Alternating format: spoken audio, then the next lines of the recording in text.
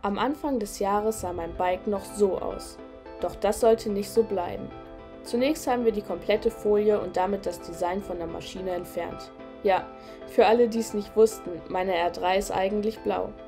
Einige Wochenenden später wurde sie dann all black. Aber nicht nur das Dekor hat sich verändert, auch die Felgen haben eine neue Farbe bekommen. Vom ursprünglichen Schwarz hell Türkis habe ich mich für eine neue Farbe entschieden. Der liebe Dennis von der Pulverbeschichtung Hamburg hat mir meine Fußrasten und Felgen in der wunderschönen Farbe gepulvert. Candy Türkis. Das Besondere bei den Candy-Lacken ist der wunderschöne Glanz bei Lichtanfall. Wenn ihr die R3 live seht, wird euch das direkt auffallen. Der cleane Look der schwarzen Maschine hat was. Äußerst elegant und schlicht, aber vielleicht auch ein bisschen zu langweilig. Meine R3 sollte mehr nach Racing aussehen.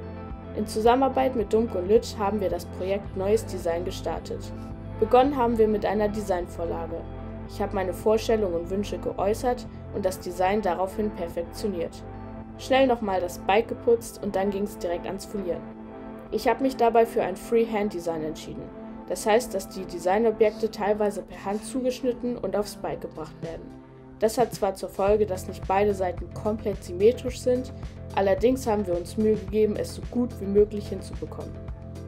Kleinere Designobjekte wie beispielsweise die dünnen Streifen, Logos und Schriftzüge haben wir mit dem Plotter ausgeplottet, entgittert und mit einer Übertragsfolie aufs Bike gebracht. Die ganze Prozedur erfordert Ausdauer, Geschick und viele Nerven. Es hat nicht immer alles beim ersten Mal geklappt. Dann werden auch gerne mal wieder Designelemente entfernt und neue aufgeklebt. Insgesamt saßen wir zwei ganze Tage an dem Projekt. Solche aufwendigen Designs sind allerdings nicht das Haupttagesgeschäft von Dumko Lütt.